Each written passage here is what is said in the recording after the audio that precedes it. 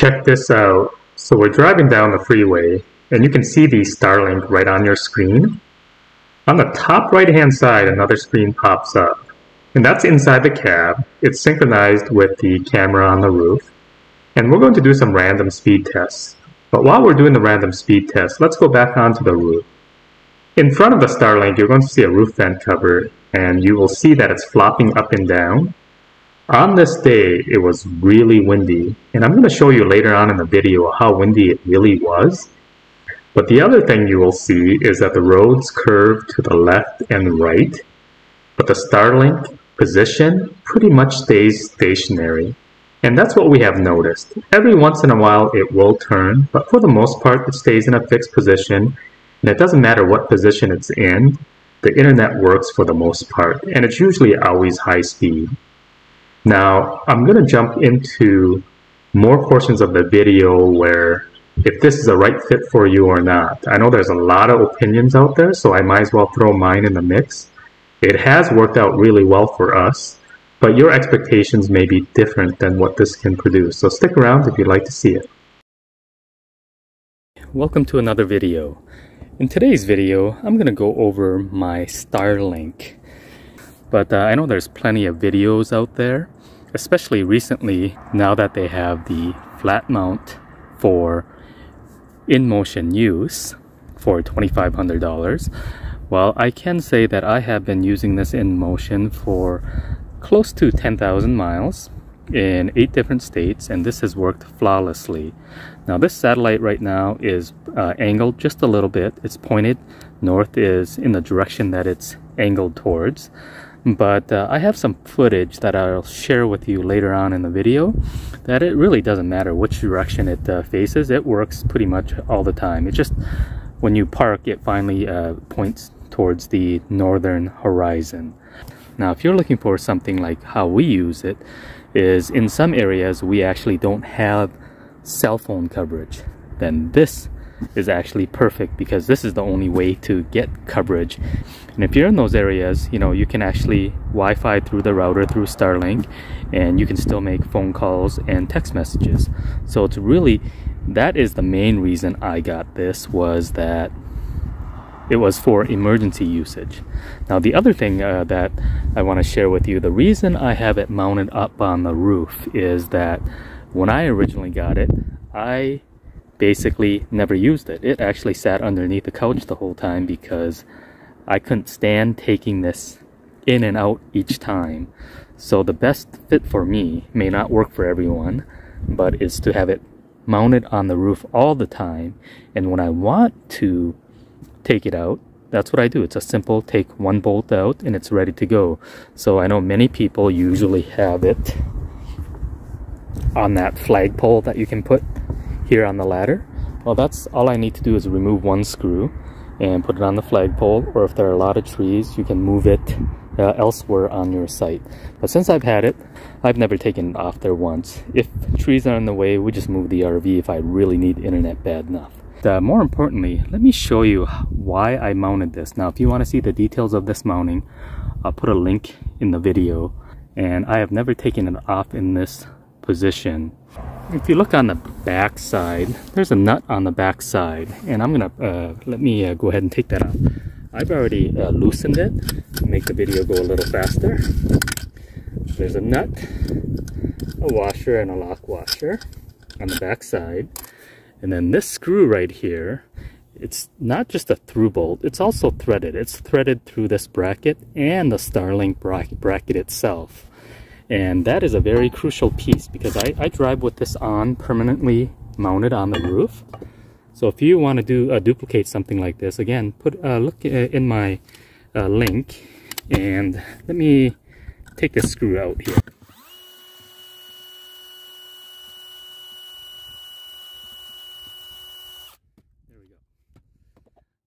here is the screw. We'll call it, it's really a through bolt. It bolts all the way through, but it's threaded.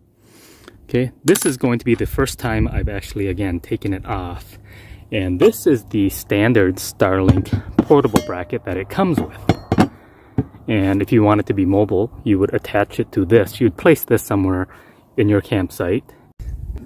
there's a button. This is the standard Starlink button here. You push on this, and well, there. Now it's uh, come out in this position. Yeah, you can see I've never uh, taken this out. Now I'm going to put it on this uh, factory mount here, and I'm going to turn it. You see how I, uh, if you've noticed, I'm actually turning the uh, satellite. And let me just, I just want to see how it reacts. I know the camera is going to pick it up, it's very close. But now, I've faced in the, we'll call it, uh, well, let me turn it on you. Now we're facing the west. But the purpose of the video is it, it really doesn't matter which direction it faces, it still works. Now, whether how much better it works, I haven't done any testing, but I know there's a user that made a comment that it almost works better when it's flat. And I haven't tested that. That uh, theory is really easy to test out. But uh, I just like to leave the bracket in a factory mode. So it works good enough for us.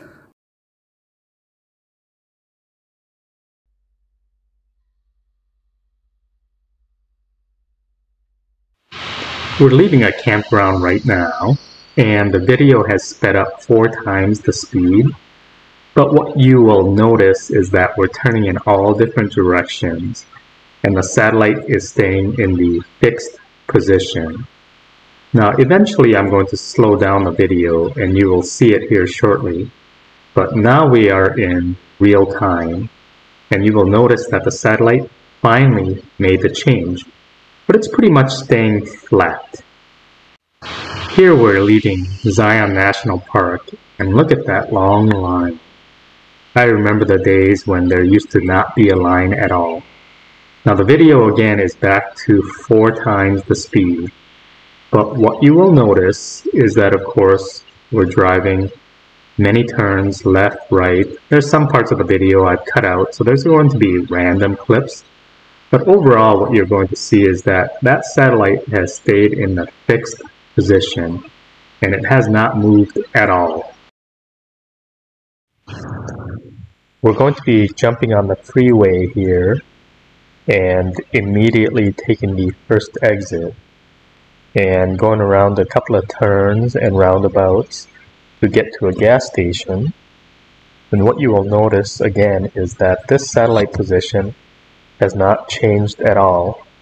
I'm going to uh, speed up the video here and you will see that we're taking a couple of turns and we'll eventually make it to a gas station.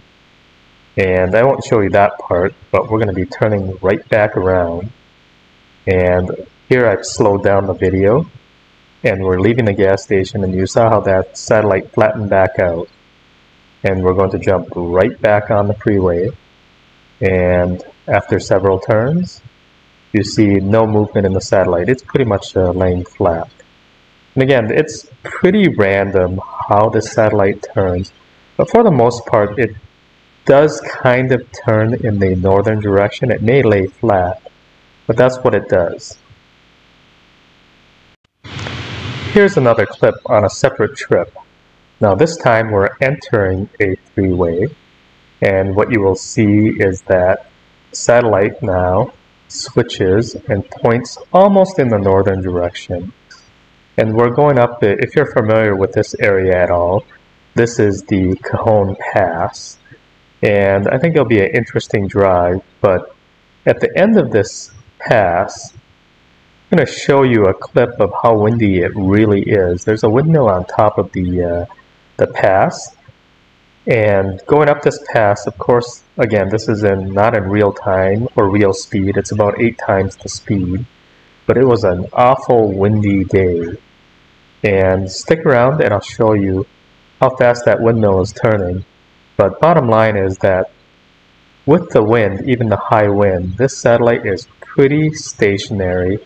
I don't see any issues at all with um, it falling off or breaking off. I've seen the internal components of how this satellite is put together, so not concerned at all on the strength of the satellite. Here we are at the top of the pass, and look to your left here with the arrow, and you can see that windmill. Now I've slowed down the video about half the speed, and you saw how fast that windmill was turning. So now we're on the interstate and again the video sped up about 8 times the speed. Now while we're driving down the freeway here, I think it's a good chance to discuss if the Starlink satellite is for you or not. Well, number one, it is pretty expensive. Now, I don't have the RV plan. I actually have the home plan with the roaming enabled. I don't know if it's really called roaming. I think Starlink calls it portability. But it gives me priority in the area that I live and deprioritizes you when you're traveling. But you've seen these spe speeds at the beginning of the uh, video and the high-speed internet has worked well for us for the most part.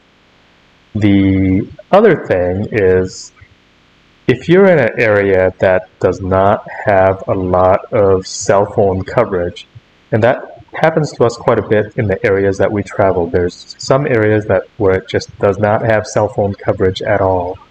Well, there are no alternatives out there besides Starlink. So that has worked out for us really well.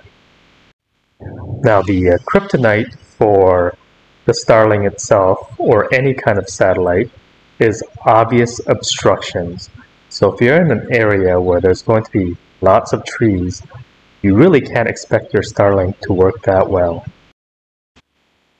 Now with that said, even if you have trees, as long as you have a view of the northern horizon, it will still work. So if you're in a heavily covered area and you can make it to a parking lot of any sort, that will give you a good area for the Starlink to work.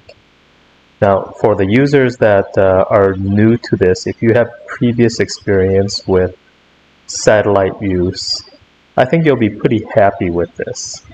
Um, but I've seen so many mixed reviews out there on some people loving it and hating it. And I think it really comes down to what your expectations are. If you keep your expectations real, I think you will really end up liking it. But if you have expectations that this is going to be the internet, then it's going to replace everything else, I really don't think this is the right uh, suit for you. So to really sum up a couple of the uh, facts, I guess, one is the most convenient is if you're in an area with absolutely no cell phone signal, the Starlink is it. I mean, this is what's going to get you the internet that you need. The drawbacks, of course, again, it's expensive. Uh, I do notice that we'll call it the drop in signal happens more often with Starlink than a traditional uh, hotspot or cell phone data plan. The lastly, on the unlimited data, Starlink also has recently come up with a data cap. I mean, it was too good to be uh, true from the beginning anyways. When they say unlimited, it's usually very seldom truly 100% unlimited. Uh, but it's not a bad uh, package. The latest is that uh, the priority stops for the home use plan at one terabyte, which is quite a bit of data, much better than any cell phone plan out there. So I'm pretty happy with it. And my expectations were always that yes, they're going to have unlimited internet, but there's always a catch. As soon as the network gets congested, they have to do something about it. So my expectations were right from getting into it. Actually, I was a little bit negative on my expectations, as in I didn't think it was going to work out this well. So it has worked out well, uh, well for us. So before you just jump right into it, hopefully some of the items that I've shared will work for you. And again, I know there's just so many opinions out there, and it's a pretty expensive investment. And lastly, I know they have that uh, new flat panel uh, satellite. And I can't tell you if that one will work better or not, but with this satellite that we have here, it works perfectly fine for us. And I'm based on how we use it, I think it will work perfectly fine for many other people out there. And one last thing, even though you are seeing this in motion, you'd be surprised how many obstructions there are. So for the most part, if you're using it for streaming or um, just regular internet usage or anything that can buffer, it'll be great. But if you're doing live streaming, as in you're doing Zoom calls and it's very important to you, you may have a lot more dropouts than uh, than you would expect. And driving down the road, I wouldn't encourage it because you're going to run into there's a lot more obstructions from canyons to trees to uh, bridges. You'd be surprised how many bridges there are. You'll have many outages, so it works for the most part, but it's not the magic cure out there. And hopefully, this helped you in making any kind of decision uh, you may want to make. So if you have any questions, uh, write them down in the comments. And hopefully, if you made it this far, make sure you hit the thumbs up button, and we'll see you on the next video.